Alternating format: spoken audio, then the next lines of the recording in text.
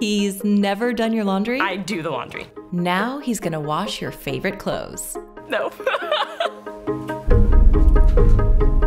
What she doesn't know is that we already taught him to do laundry. In addition to detergent, he's using Downy fabric conditioner, which helps protect clothes from stretching, fading, and fuzz. this is really soft. No pillage. This is the one I was worried about. Nice. Do you want to always do laundry now? Can we do this with dishes?